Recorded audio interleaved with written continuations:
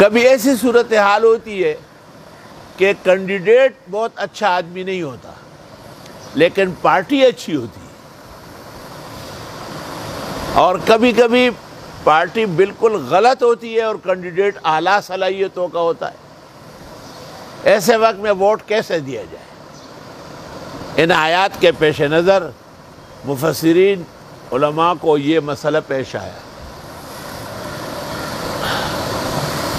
बुखारी शरीफ में है कि रसूल अकरम सल्लल्लाहु अलैहि वसल्लम ने पानी नोश जान फरमाया। और जब बच गया तो आप चाहते थे कि अबू बकर को दे, लेकिन इत्तेफाक से वो बाई तरफ़ थे। और दाई तरफ़ एक आराबी था।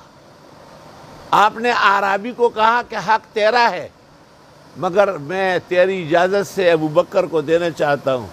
उसने कहा, लाऊ से रन अला नफसी।